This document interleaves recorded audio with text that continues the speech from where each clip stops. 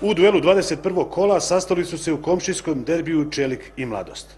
Osmi međusobni dvoboj ovih klubova u BH futbalu bio je značajniji za Čelik jer je uoči ovog kola za mjestom koje garantuje opstanak kasnio šest bodova. I za Mladost je duel bio vrlo značajan jer ih je od Lige za šampiona dijelilo tri boda.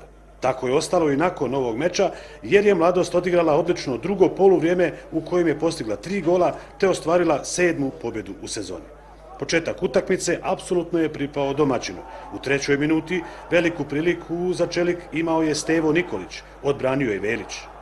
U 15. minuti izuzetno lijepu akciju Čelika izveli su Salčinović i Andjušić, no njegov volej udarac završava iznad prečke. Dvije minute kasnije ponovo je centrirao Salčinović, ovaj put za Nikolića, ali ishod je bio isti.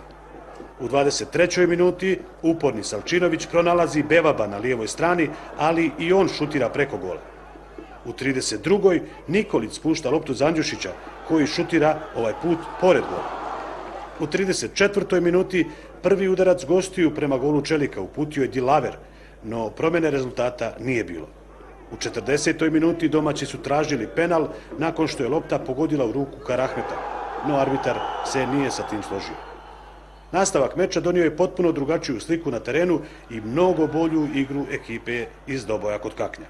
Iako je Stevo Nikolić prvi zaprijetio u drugom poluvremenu u 49. minuti, sve ostalo bilo je u znaku mladosti.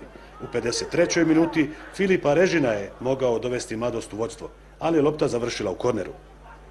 Tri minute kasnije, a Režina je pogodio. Minut je bio 56. a Režina je odlično iskoristio lošu reakciju odbrane Čelika i lijepo prebacio loptu preko golmana Markovića. U 61. minuti Aldin Šišić je mogao dovesti ekipu mladosti do vodstva 2-0, ali je poslao loptu preko gola. U 85. minuti ipak je bilo 2-0 za mladost.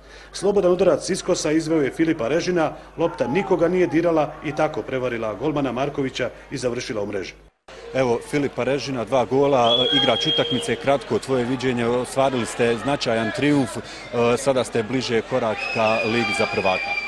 Pa, sigurno da mi smo došli po ova tri boda, mi dogod imamo šanse za tu Ligu šest, mi, mi ćemo se boriti, nećemo se prodavati, evo to smo danas pokazali. Samo dvije minute kasnije bilo je 0-3. Aldin Šišić postiže najljepši gol na utakmici za ubjedljiv triumf mladosti. Mi smo praktično do tog prvog gola sve kontrolirali, međutim ta greška koja nas se ponovo ponavlja za 1-0 i kasnije mladost bila bolja. Mi smo sve šanse promašili u prvom polovremenu i nam ostaje samo da čestitamo ljudima na zacijenu. Mislim da sasvim zasluženo idemo kući sa tri boda i nama vrlo bitna tri boda. Imamo još zadnje kolo ako ovog da probati onaj Goška dobit i nadat se da Vite sa radnikom odigra za tu ligu šest. I mislim onaj šteta, ali eto o tom potom onaj 18 kola, 19 smo bili na poziciji za ligu šest i pretkaj da to prospijemo, ali takav je futbal, ali čestitam svojim momcima, stvarno su odigrali drugo po vrijeme top. Mladost u zadnjem kolu čeka kiks ekipe radnika kako bi se dokopala Lige za šampiona, dok Čeliku slijedi grčevita borba za opstanak kao i ranijih sezona.